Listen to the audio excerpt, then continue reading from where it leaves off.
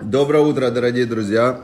Всем доброе утро, hello, bonjour, шалом. Все, мы начинаем урок Торы.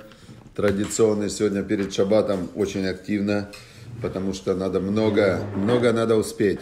Неделя закончилась, и сейчас э, шаббат. Вот точно так же, перед, э, когда человек умирает, а с собой не успел сделать заповеди, мицвот, и он думает в конце жизни, вот надо же много успеть. Дерни Нивня Шалом, Максим Перенчук, два у нас всегда самые первые приходят, молодцы. Все.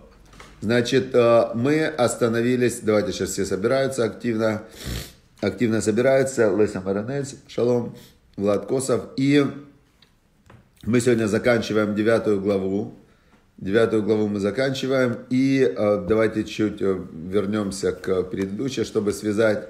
Значит, речь шла о том, что есть идеология Торы и есть идеологии, э, идеологии, которые предлагаются обычным миром. Те э, идеи, установки, которые впечатываются в людей при их рождении, в зависимости от той страны, в которой они живут, впечатывается страна, семья, сословие, каста. Вот, например, если бы там Светлана Карачева, не дай бог, родилась бы в Индии, то в какой касте она была бы? Непонятно. Демир партнер, э, партнер, он э, живет в Казахстане, ему нормально в Казахстане жить, да? Но если бы он родился в Китае, а не в Казахстане, и в э, тысячу лет назад, и женщиной, например, не дай бог, все было бы совсем по-другому в его жизни. То есть каждый человек, э, когда он рождается, он попадает в установленную идеологию, как бы, знаете, как телефоны с предустановленными программами. И все. То есть, если ты Android, Android, если ты Apple, Apple, все. Теперь, значит, э, идеология Торы. Идеология Торы – это божественная идеология, то есть то Бог, ради чего Он создавал мир, то, как Он мир задумал, Он, значит, э, дал эту идеологию Торы, и если ты родился в религиозной семье, отлично, отлично, тебе повезло, то есть у тебя есть с детства тебя прямо в закачивают у тебя все программное обеспечение тараническое, и вот тут наступает интересный момент. А мы выяснили, здесь нам было написано, что есть четыре категории. Хана, Шалом, Значит, есть четыре категории. Наивный – это тот, который верит всему, что ему говорят. И он не обдумывает, у него нет вопросов. Это очень хорошо быть наивным. То есть это идеальный вариант э, родиться таким наивным, и чтобы тебя воспитали в правильной системе. Тогда отлично, ты идешь по жизни спокойненько себе и, э, и спокойненько умираешь и заходишь в лучший мир. Теперь есть люди не наивные, а они называются хасерлев, эмоциональные – они не управляют своим мышлением, у них очень сильная их эмоциональная часть, их э, рубит прям вообще, они, у них идет борьба между рациональной частью и эмоциональной. И здесь все зависит от того, дадут ли им правильные установки, натренируют ли его, этого человека, побеждать свою эмоциональную часть. Например, есть один из самых э, таких сейчас в мире известных миллиардеров, Рей Далио.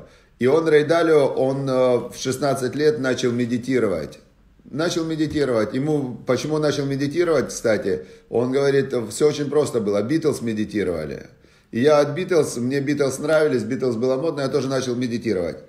И он из человека, который был эмоциональный, которого выгоняли с работы, он даже когда-то начальника своего побил в, в одной из фирм, он стал человеком, который полностью починил свою жизнь. Он прямо говорит, что у меня есть два, две личности внутри. Одна рациональная, одна эмоциональная. И он говорит, я подчинил эмоциональную рациональное. То есть я не даю эмоционально управлять своей жизнью. Рэй Далио такой умный человек. Стал миллиардером, вошел в 100 самых богатых людей мира, написал книгу «Принципы», и э, как бы он выдумал свою идеологию. Он говорит, у меня вот такая идеология. То есть он не скрывает, он говорит, я эту свою идеологию выдумал. Значит, э, это называется эмоциональный, хасерле, вторая категория. Третья категория, это я повторяю то, что мы до этого изучили. Третья категория – это насмешник. Насмешник – это травмированный в детстве человек, который над всем насмехается, чтобы больше не травмироваться. То есть он боится травмироваться дальше, поэтому он все отрицает, ему как бы установил защиту. И последняя, четвертая категория – это злодей. Злодей – это тот человек, который активно, активно нападает на, активно нападает на окружающий мир, на добро, на добрых людей, и он производитель зла. Теперь, значит, э, и мы изучили, что как царь Соломон от имени Бога, от имени Торы, он говорит, давайте заворачивайте ко мне, значит, если вы наивные, вообще вам повезло, а если вы не управляющие собой, так я вам дам систему, как научиться управлять собой. Это в Торе все есть. Значит, теперь мы дошли до 17-18 отрывок в 9 главе, вот сегодня мы их выучим. А, они очень э, э, нам открывают такой интересный ракурс на все, что происходит в мире. Значит, э, звучит так 17 отрывок. Маем гнувим им таку. Воды, воды, вода ворованная, они будут сладкими, очень сладкие. Ворованная вода сладкая, Велехом старим и какой-то утаенный, скрытый хлеб и нам, он очень приятен. Что за вообще непонятный отрывок, да, если посмотреть ну, с первого взгляда.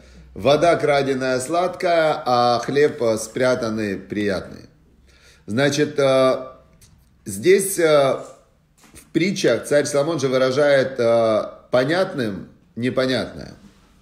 Значит, он раскрывает нам следующий принцип, который положен в основе вообще того, что происходит в мироздании. Принцип такой.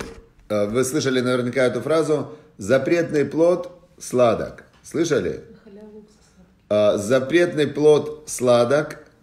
И, значит, здесь именно говорится об этом. Почему запрещ... Э, значит, Раша, один из комментаторов на это место, он говорит, что, что запретное отношение с замужней женщиной, они по, ну, как бы дают больше удовольствия, чем с разрешенной. То есть с неразрешенной больше удовольствия, чем с разрешенной. Почему? Почему Бог так сделал, что то, что запрещено, оно, влеч... оно человека влечет, а то, что можно или нужно, Тора, духовность и так далее, оно не влечет. Почему так сделано? Чтобы сохранить равновесие, чтобы все было честно. То есть мы смотрим, смотрите, вот это зло, вот это добро. За добро есть э, вечная, там, э, вечная награда, вечная жизнь, э, любовь Бога, там все. Теперь за зло, ад, исчезновение, ранняя смерть там и все. Ну, кто бы выбирал бы зло? Никто бы зло не выбирал. Понятное дело, все бы выбирали добро. Это не было бы выбора. Это знаете, как ты подходишь, значит, подходишь ты и стоит вот тут Мерседес новый, а тут какая-то развалюха. И тебя спрашивают, ну выбирай, какую машину ты выбираешь. Понятно, человек выберет Мерседес. Это не, это не выбор. Это Здесь нет выбора, здесь есть очевидный, очевидное решение, что то, что лучше, то я и выберу. Теперь получается, получается что? Что для того, чтобы появился выбор, нужно было их уравнять. Уравнять вот эти вот две штуки. Добро и зло, чтобы был явный выбор. И как это было уравнять? Сделана такая система специальная, что зло, оно привлекательное. То, что называется животное начало в человеке, его ецарара, злое начало, животное начало в человеке, оно внутри человека тянет в сторону зла, в сторону запрещенного. А его духовное начало, оно его не тянет в сторону добра. Оно просто, как бы, написано, что э, Пертьявод мы учили, такая есть смешна, э, убегай, гонись за заповедью, Аве радеф ахарей мецва выбираях мина вера. То есть гонись за заповедью и убегай от преступления. Так написано было в Пертиявод. Так э, что значит? Почему я должен убегать от преступления и гнаться за заповедью? Это значит, что заповедь, она как бы от меня убегает, а преступление за мной гонится. Это как раз описан вот этот вот принцип. Вот этот принцип описан. Смотрите что вот человек сидит, как эта женщина в начале, в самом начале, э, дерево познания добра и зла, и она увидела вот это вот, увидела она этот плод, запретный плод, да, то, что Бог сказал, нельзя от него кушать. И он был вожделенный для глаз. Теперь человек смотрит, например, на какую-нибудь женщину, да, мужчина смотрит на женщину. И если она ему запрещенная, то его злое начало, оно начинает ему рассказывать, какая она хорошая и симпатичная. А смотрит он на женщину разрешенную, она ему не так кажется симпатичной. И у него тогда есть выбор. Тогда вот это равный выбор. Понятно? Это очень интересная такая вещь. Теперь, значит, э, почему утаенный хлеб приятен? По той же причине. То есть то, что скрыто, оно приятно. То, что открыто, то, что есть, человек не ценит. То, что у него нету, оно ему кажется ценным. И на этом построено вся, все движение в мире. Потому что если бы этого не было принципа, то тогда мир бы не двигался. То есть сидит человек себе, вот у меня все, слава богу, отлично. У меня отлично, там, у Олега Ярошенко, который пишет «Будь храбрым и мужественным», все у него тоже отлично. Ну, нормально, то есть, я не знаю, как лично у него, у меня, слава богу, вот в данный момент все отлично. Я помолился, покушал, в, поучился, все идеально.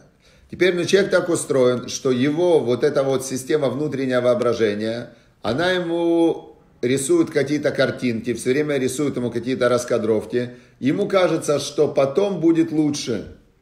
Там будет лучше. Зависть на этом работает, правильно, зависть на этом работает. То есть то чувство, когда ты смотришь и ты думаешь, что кому-то лучше, это как раз относится вот к этому моменту, да? что вода краденая сладка и утаенный хлеб приятен. То есть то, что не твое, то, то, что ты не видишь, то, что ты не имеешь, тебе кажется привлекательнее, чем то, что у тебя есть.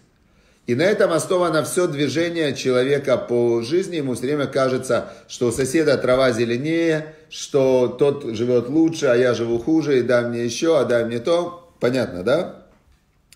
Теперь а, и 18 отрывок – он нам объясняет, какая за это идет э, следующий шаг.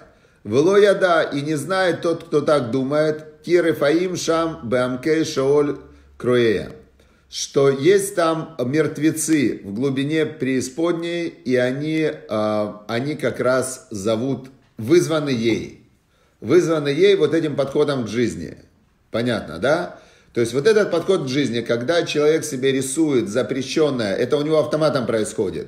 Хорошо там, где нас нет, да, вот это из этой же серии, э, из этой же серии э, поговорка. Значит, если ты на это повелся, то есть ты повелся на вот это вот, э, как сказать, обесценивание того, что есть. А что такое, когда человек обесценивает то, что есть у него, и наделяет ценностью то, что ему не принадлежит, то, что чужое, то, что ему нельзя и запрещено. Этим самым он сам же себя уничтожает.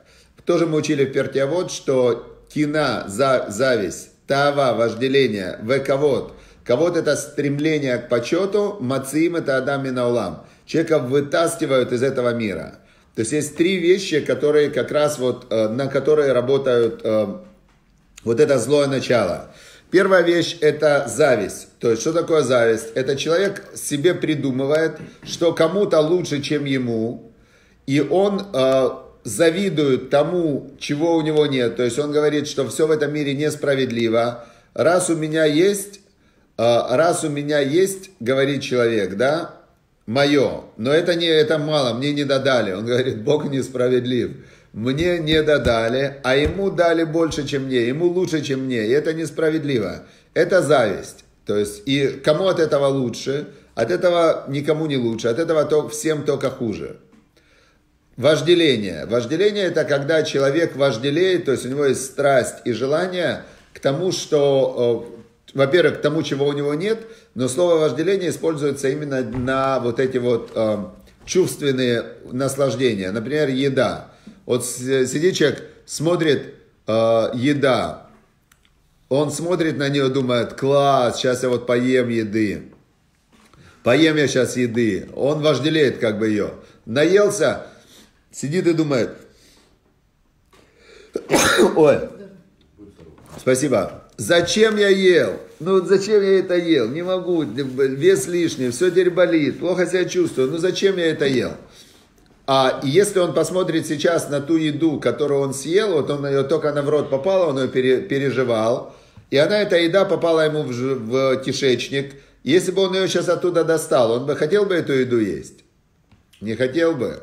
Вообще не хотел бы. Но это та же самая еда. Только что она была в, на картиночке такая красивая. А если он ее сейчас достанет из живота, она не такая красивая. Смотрит он на женщину какую-то на рекламе. Э, вот мне жена подсказывает, что тут надо было остановиться. Но я именно хотел рассказать сейчас метод, которым действовал Раби Нахман из Бреслова. Раби Нахман, он, чтобы избавиться от вожделения, он изучил анатомию. И он, когда смотрел на вот эту женщину, на любую, то он тогда видел не ее как бы, а он видел ее в разрезе, в анатомическом разрезе. То есть он представлял ее, вот сними с нее кожу, например, да, разрежь ее вот так по, по, вдоль, поперек. И он ее представлял, как у нее внутри 12 метров кишечника. Любая женщина красивая, у нее внутри 12 метров кишечника, в котором как раз 12 метров вот эта еда, которую она съела, она в ней внутри находится.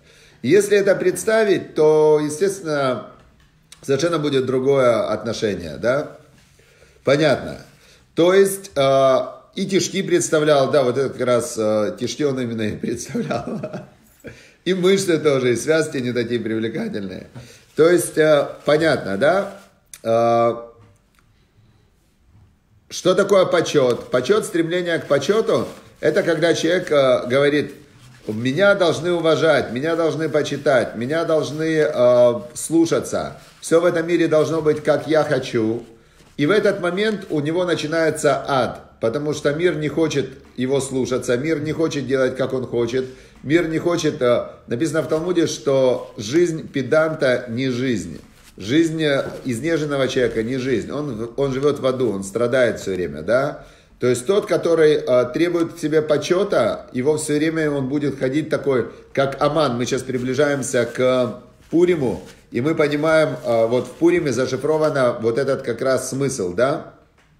Что Аман, Аман, он, э, когда ему Мардыхай не поклонился, он зашел, пришел, у него стол накрыт там 10 сыновей сидит, друзья, он премьер-министр, и он говорит, вот все это мне не в радость, пока Мордыхай ко мне не поклонился. Вот это стремление к почету, которое у человека забирает, э, забирает его жизнь. Меня недоуважали, меня недооценили, к нам меня там не так посмотрели. И вот эти мысли, они человека сжирают. Зависть. Человек, который не понимает, он, а вот его оценили, его, значит, э, ему дали, ему там передали. Ай-яй-яй, еще себе хуже сделал. Потом сидит, значит, и думает, эх, хочу я вот прям, хочу, не могу, вот это, вот это и вот это, а у меня нету. А вот как раз я это и хочу. Вот была бы у меня там Анджелина Джоули, вот я был бы счастлив, думает кто-то, да? А что ж ты был бы счастлив? Брэд Питт не был с ней счастлив, развелись они с Брэд Питт, да? И ей тоже Брэд Питт не нравился, представляете? То есть Брэд Питт там Половина женщин в кинотеатр ходят из-за Брэд Питта. То есть большая половина. Они прямо, прям Брэд Питт. Анджелина Джоули не захотела с ним жить, с Брэдом Питтом. Все. Понятно, да? И надо помнить, что вот этими картинками чуждая идеология, она человека уводит от Торы, а дальше какой, какой выход там? На выходе что? Человек, который потакает своим вожделением – если он ест э, много мяса, оно уже перестает его насыщать. Если он ест там много тортов, он становится толстый, ему уже не нравится. Если он э, там с женщинами злоупотребляет, то у него в конце концов, он уже не знает, что с ними делать, у него и здоровье плохое, и спит, и значит, и то есть он уже не знает, как ими злоупотреблять. То есть все это пустое, пустое, вот по сути оно пустое. Но кто бы за этим пустым гнался, если бы Бог так не сделал, чтобы оно было, вызывало вожделение? Бог специально сделал. Смотрите, вот зло привлекательное, вот добро, заповеди, Тора. Какое здесь, э, ну то есть, как бы оно издалека, оно вообще не привлекательное. Когда ты туда нырнешь, оно становится привлекательным. Но пока месть, пока ты туда не нырнул, издалека, мир Тора, он кажется, ну, ну что там привлекательного есть? Ну что вы вот это сидят эти в Ешиве, там учат Тору? Э, шаббат они соблюдают, по 8 детей нарожали и так далее. То есть со стороны смотришь, непривлекательно, а внутрь вошел, привлекательно. Все, шаббат шалом, мы закончили девятую главу, и нужно знать, что тот, кто идет против Торы, и тот, кто идет, нарушает заповеди, он заходит в очень опасную, опасную такую площадочку. Все, дорогие друзья, всем шаббат шалом, удачи, успехов, радости, веселья, счастья, любви, э, духовного роста и всего самого хорошего. Все, удачи, успехов, пока.